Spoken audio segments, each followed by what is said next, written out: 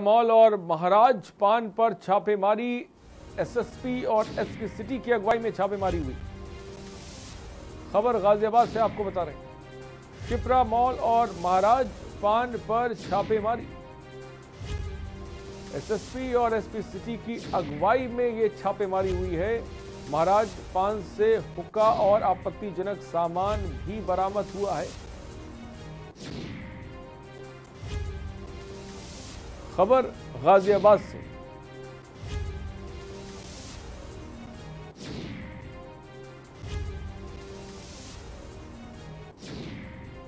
महाराज पान से हुक्का और आपत्तिजनक सामान बरामद हुआ है।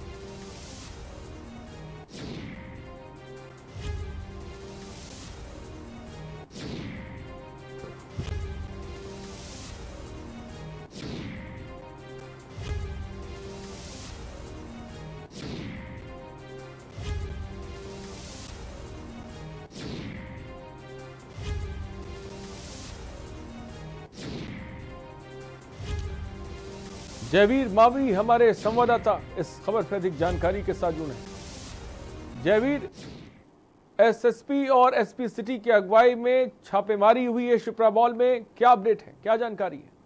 देखिए, जिस तरीके से गाजियाबाद की जो लगातार जो इंदिरापुरम थाना क्षेत्र है, वहाँ पर लगातार सूचनाएँ मिल रही थी हुक्का बार को और जो नशे के अड्डे हैं, जो इस तरीके की जो चीज़ें थी, वहाँ पर लगातार शिकायत मिल रही थी, जिसको लेकर आज गाजियाबाद के वरिष्ठ पुलिस अधीक्षक सुधीर कुमार सिंह और जो एसपी सिटी है, मनीष जी, मनीष मिश्रा, दोनों ने यहाँ पर जो इंदिरापुरम के जो माल है, वहाँ पर छापेमारी की है, जहाँ पर बहुत सारी जो ऐसी चीज़ें हुक्के मिले हैं और जो नाबालिग युवक जो बच्चे हैं वो वहाँ पर हुक्का का सेवन करते हुए मिले जिसको लेकर जो एसपी जो है उनका साफ़ तौर पर कहना कि इस तरह की जो अब अवैध धंधे इंदिरापुरम में नहीं चले दिए जाएँगे वहीं जो कुछ लोग है उनको हिरासत में भी लिया गया है। अब देखना है कि जो जिस तरह लगातार कार्रवाई चल रही है कि जो लगातार इंदिरापुरम थाना क्षेत्र बदनाम रहा है इस मामले को लेकर अब उसी मामले को जो एसपी हैं वो यहाँ से चाहते हैं कि इस तरीके की जो अवैध धंधे यहाँ पर गिरफ्तारी हुई है?